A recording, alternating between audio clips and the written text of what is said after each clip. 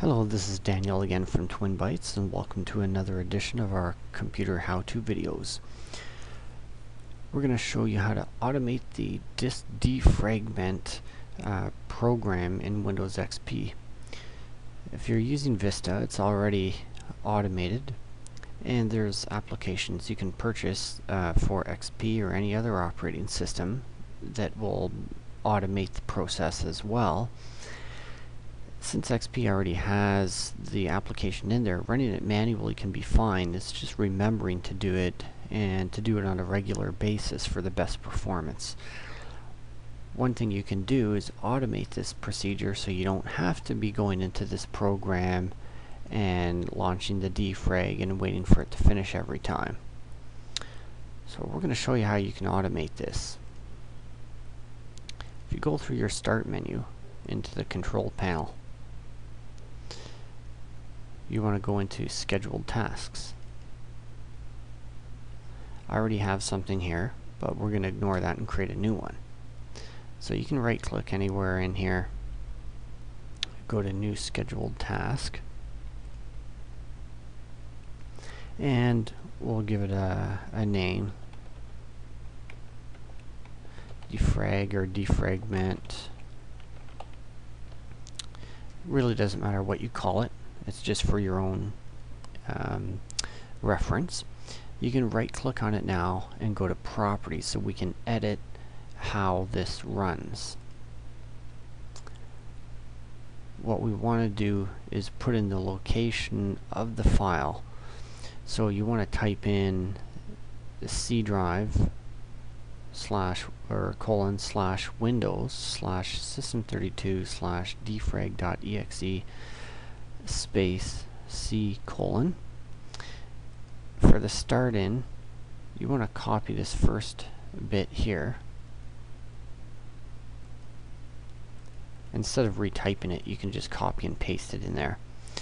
We don't need any comments the name will already have your name and if you require a password for logging into your computer you're going to want to go in here and type in your password otherwise it won't be able to run the application you don't need to change any of these things uh, it does need to be enabled to run Otherwise, if you uncheck that, it's not going to work. Now we want to go into the schedule and you can choose to run daily, weekly, monthly. This is something daily is probably the best. Uh, weekly can be fine. Monthly uh, is got to be a minimum. Now you could have it so it runs at startup or at login every time you turn the computer on it's going to start running but that's probably not the best thing since when you turn the computer on you want to start using it so uh, I wouldn't recommend that um, you're turning the computer on to start working so the last thing you need is something else to slow you down best thing I find uh, personally is to choose when it's idle. So you can choose that option. This way it's only going to run when you're not using the computer. And you can set for what amount of time you want the computer to be idle for before it starts to run. And the default is probably fine but you can also edit that time if you wish uh, to whatever time. And if we go over to the settings tab there's only one other thing here that you might want to really change and that's to stop the task if the computer ceases to be idle. So that means once you come back to the computer and you touch the keyboard or the mouse, you're starting to actively use the computer again, it's going to recognize that you want to continue working and you need full power again to work with. It's going to stop that task automatically. After the allotted time that we set here on the schedule, it will start again, uh, continue where it left off uh, the next time you step away from the computer for six minutes in this case. And that's probably all you need to do. You could play with some of the other settings, but they're not necessary.